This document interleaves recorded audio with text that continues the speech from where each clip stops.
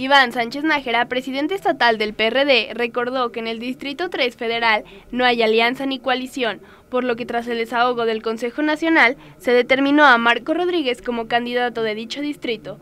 Mencionó que Marco Rodríguez es un líder juvenil que viene de las agrupaciones de la sociedad civil juvenil, que se ha dedicado a temas de gestión y acompañamiento en el sector joven, especialmente en el área de derechos humanos y diversidad sexual.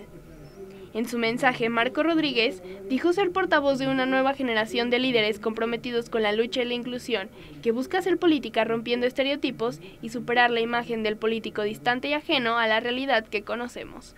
Mencionó que se encuentra comprometido a impulsar políticas que fomenten la educación accesible, la igualdad y equidad de género, el respeto al medio ambiente, al bienestar animal, la economía comunitaria y la participación ciudadana.